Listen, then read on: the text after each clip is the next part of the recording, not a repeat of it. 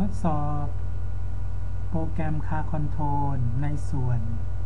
หน้าจอนะครับ ก็ติดตั้งโค้ดลงที่เครื่อง Android ก็ได้ แต่ว่าในที่นี้ทดสอบบน Emulator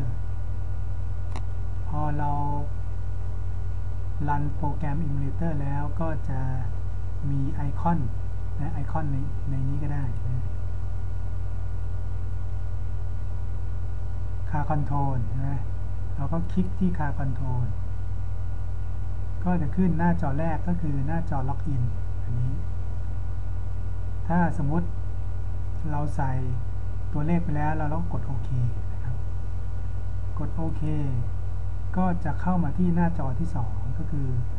หน้าจอ หน้าจอหลักในการควบคุมสั่งล็อก สั่งปลดล็อกรถนะ แล้วก็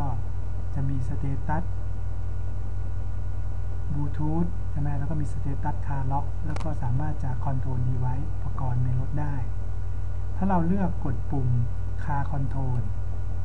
ก็จะมาเข้าหน้าจอที่3นะอันนี้เป็นหน้าจอควบคุมอุปกรณ์ในรถ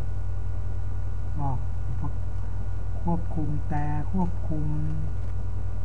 สั่งดับเครื่องหรืออะไรก็ได้ ควบคุมเปิดไฟอะไรก็ได้นะ อันนี้ก็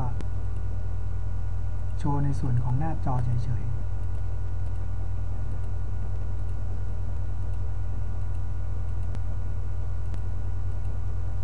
เราก็ย้อนกลับไปได้